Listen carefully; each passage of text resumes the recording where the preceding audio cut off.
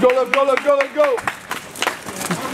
Left, left, left, left, left. Today, cadet summer training, cadets from 3rd Regiment Advanced Camp got their nasal passages cleared in the CBRN training. So today, the, the cadets are conducting their CBRN cadet summer training. So right now they're getting classes from the lieutenants and then they're going to come in here into the CS chamber, which is tear gas. So it's an irritant that irritate the skin, the respiratory system, and the eyes, just so they can build up confidence with the protective mask that it'll protect them in a real CBRN event.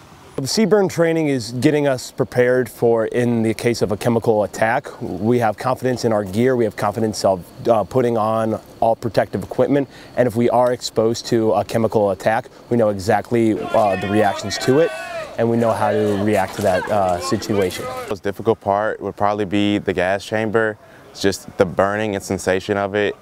Uh, we haven't experienced it before, so experiencing that is painful.